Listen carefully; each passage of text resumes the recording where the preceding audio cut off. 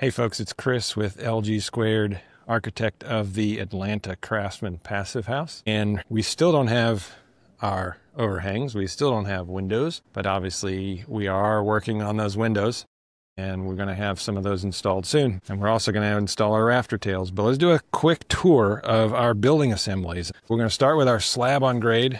Slab is, uh, you see right there, that white membrane is the waterproofing at the edge of the slab. So we'll start with the soil. The soil is 98 to 98.9% compacted fill.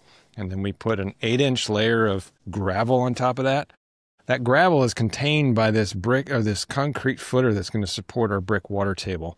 It's physically separate from the slab. So they're two different structures and no thermal bridging happening between them. But the eight inches slab is sitting on top of a vapor and radon barrier that's on top of two inches of rigid stone wool insulation throughout the entire slab. Then um, under the under the insulation is a filter fabric on top of the eight inches of gravel, which is our capillary break. The walls are two by six at 24 inches on center. They're going to be filled with blown in stone wool insulation. On the outside, we have a layer of half inch CDX plywood, and then that's covered with a liquid applied water resistive barrier, WRB house wrap, and the blue.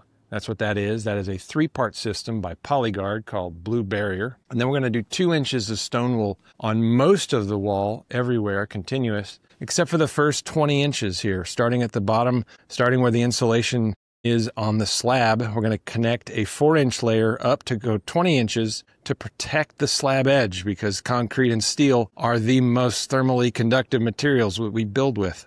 We're going to transition from that four inch to two inch all the way up to the roof, attach that insulation with one by fours uh, aligned with the studs, and then attach our cladding to the one by fours. The roof, very similar to the wall. It's just taking the wall assembly and rotating it to be sloped and that's going to be two by tens filled with stone wool insulation, half inch CDX, and then a roof underlayment. That's a vapor open roof underlayment from Benjamin Obdyke. It's called Vapor Dry. And then we'll have our four inches of insulation on top of that. It's rigid stone wool insulation, same as we're using on the walls. And then we'll have two by fours at a 45 degree angle attached through the insulation into the roof framing. And then we'll attach our roof roofing on top of the two by fours. That is a three minute tour of the assemblies at the Atlanta Craftsman Passive House. This is Chris with LG Squared. Bye for now.